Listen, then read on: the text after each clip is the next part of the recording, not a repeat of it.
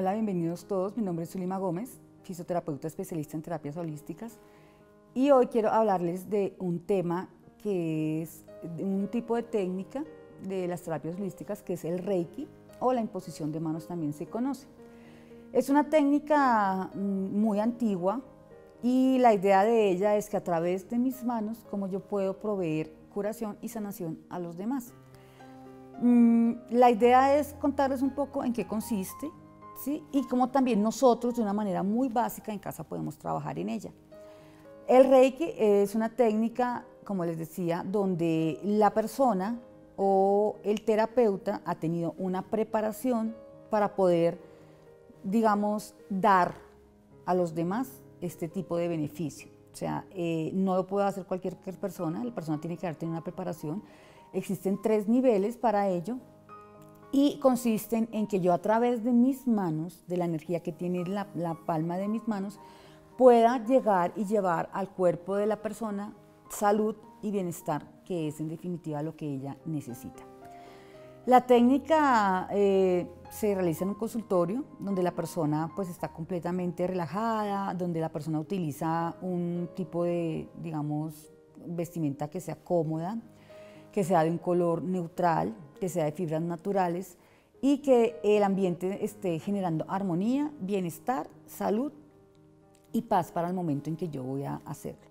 El terapeuta por lo general a colocar las manos alrededor del cuerpo del paciente va a empezar a sentir los cambios energéticos que se perciben a través de, de las terminaciones que yo tengo en la mano. Así es como cuando uno realiza la técnica en el consultorio, uno va pasando y uno va sintiendo y en la rodilla, cuando voy, digamos, pasando por la rodilla, el estómago, hombros, cabeza, la energía y el calor que emana el cuerpo del paciente nos va dando una lectura de cómo está esa zona. Y en la consulta le dice a la persona, oye, mira, tú has tenido problemas de pronto, dificultad para mm, digerir los alimentos, has tenido dolores en la rodilla. ¿Por qué? Porque las, manos empiezan a reconocerlo. Es ahí donde yo les digo, las personas necesitan una preparación para ello. Esa es una opción, ¿sí? pero las, como les quería eh, dejar, digamos, el mensaje de hoy es que nuestras manos también sanan. Si tú, eh, a través de tu mente, de tus pensamientos, lo que tú quieres es brindarle a la persona, proveerle a la persona de, de salud, simplemente es, yo lo puedo hacer. Instintivamente nosotros cuando somos chicos o cuando nos pegamos ya grandes, ¿qué hacemos? Es poner las manos en el lugar donde nos pegamos, ¿sí?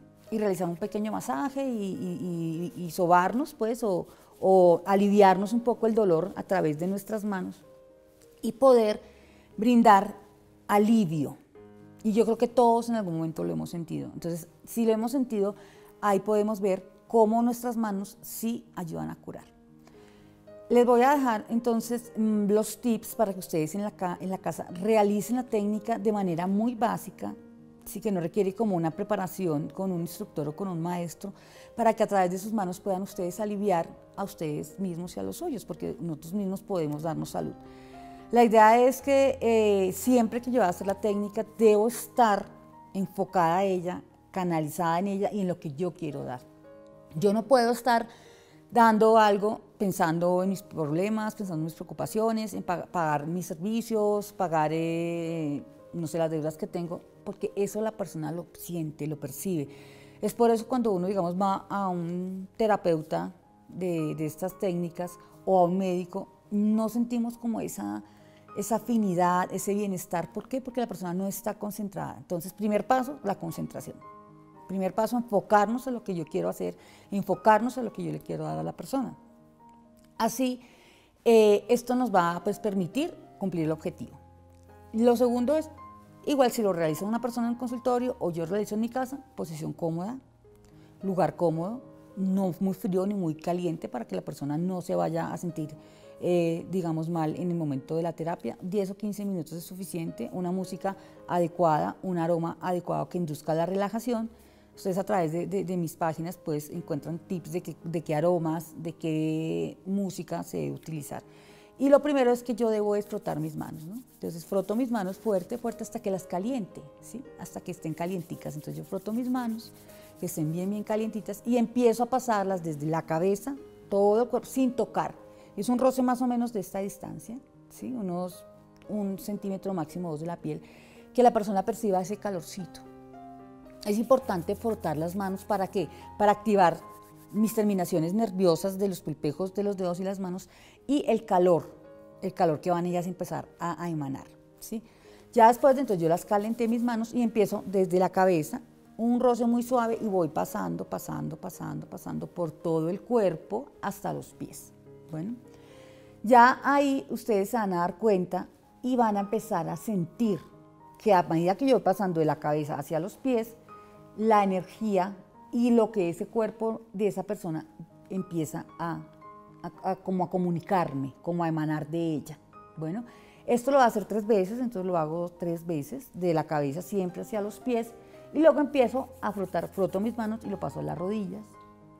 Y siempre me detengo más o menos uno de dos a tres minutos en cada zona para sentir la energía que hay ahí.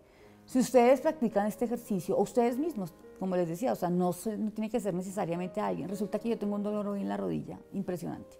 Entonces voy a frotar mis manos y voy a colocar mis manos sobre ese lugar, creyendo, sabiendo y estando segura que esta energía que yo estoy transmitiendo a través de mis manos va a generarme a mí bienestar, va a disminuir el dolor.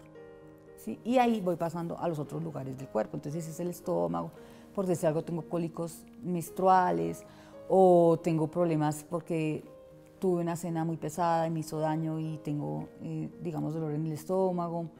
Eh, tengo, por decir algo, un síntoma de gripa, dolor en la garganta, dolor de cabeza, igual. Entonces, dolor de cabeza, vengo y coloco mis manos y la intención, siempre la intención. Sobre todo es muy importante la intención del que da. La idea es que el que recibe también debe estar conectado conmigo y, sentir el bienestar que yo le quiero dar. Ya después de haber realizado la técnica, si es auto, digamos, de que yo me la estoy brindando a mí misma, pues entonces a los lugares aquí me quede fácil de hacer. Entonces cojo, froto mis manos, paso alrededor y lo haría sentada, es más fácil. Y paso al lugar donde tengo la molestia. Para ya terminar y cerrar energéticamente a esa persona, entonces yo froto mis manos, la coloco en los pies y empiezo a subir, a subir, a subir, a subir, a subir, hasta la cabeza tres veces. Siempre lo hago tres veces y me detengo un poco en la cabeza. Es importante al final de la sesión, la persona que fue la que dio la terapia, frotarse las manos fuertemente por última vez y sacudirla, ¿sí? para poder cerrar y sacar lo que esa persona a mí me pudo haber transmitido. Nosotros somos seres energéticos, siempre se los he dicho a través de los programas que hemos hecho, y es importante cerrar y eh, canalizar esa energía, que lo que esa persona tenga no me vaya a afectar a mí en algún momento dado o pasarse a mí. Bueno, entonces eh, espero que lo pongan en práctica. Es una técnica muy bonita, es eh, digamos como los pasos previos cuando yo ya quiero trabajar una técnica más elaborada como el Reiki. Es simplemente una técnica que se conoce como autosanación o eh, imposición de manos para brindar a la persona bienestar y salud. Cualquier inquietud que ustedes tengan, eh, pregunta o alguna cosa que quieran, digamos, ampliar sobre el tema a través de mis redes sociales o mi número de contacto, estoy dispuesta a colaborarles. Muchas gracias.